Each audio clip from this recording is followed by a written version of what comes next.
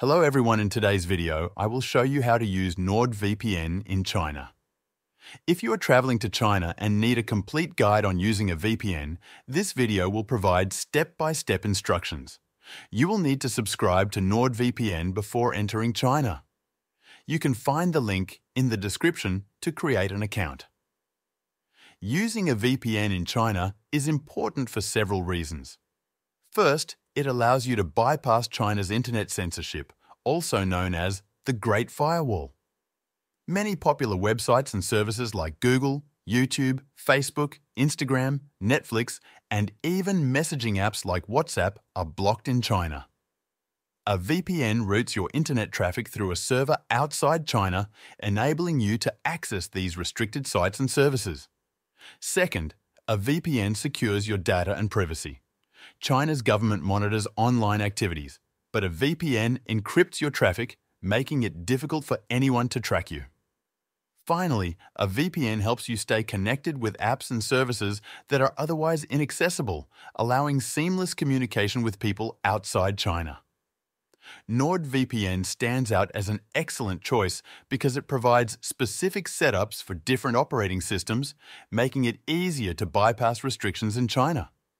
Let's walk through the steps to use NordVPN effectively. The first step is to subscribe to NordVPN.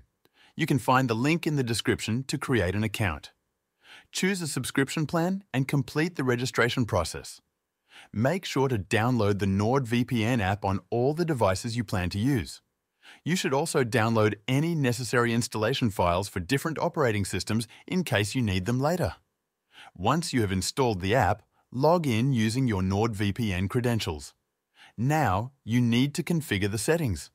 Select the NordLynx protocol in the settings for better performance and security.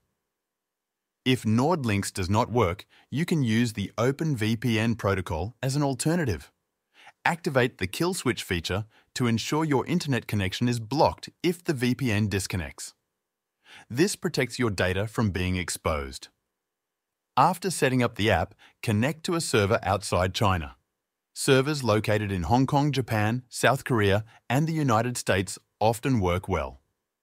Once connected then, test the VPN by accessing sites and services that are blocked in China, such as Google or YouTube.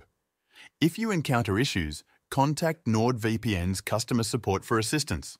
They can recommend specific servers or help you troubleshoot problems. Using NordVPN in China ensures a secure and unrestricted internet experience.